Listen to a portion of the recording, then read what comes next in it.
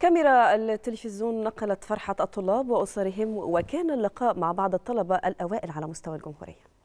آه، الواحد حقيقي ما كانش متوقع إن ده هيحصل أو إن هو ممكن يوصل الأول على الجمهورية. يعني كنت بفكر أكيد اللي هو أنا المفروض أبذل كل حاجة عشان أجيب مجموعة عالي بس ما توقعتش إن يكون الأولى على الجمهورية. يعني الموضوع كان مفاجأة كبيرة للآن مش مستوعبة بشكل كامل أصلا. فرحانة جدا طبعا لأن النجاح حاجة جميلة. آه، توفيق ربنا وكرمه آه، يعني حاجة لا توصف. وربنا عمره ما بيضيع تعب حد. أنت دايما مطالب بالسعي آه، بالنسبة للنتيجة فأنا عرفتها من المؤتمر الصحفي. كنا بنشوف ترتيب الأوائل يعني. فاتفاجئت جدا لما لقيت نفسي آخر اسم في البتاع 399 ولقيت صورتي ولقيت اسمي فاستغربت. بس الحمد لله الحمد لله يعني.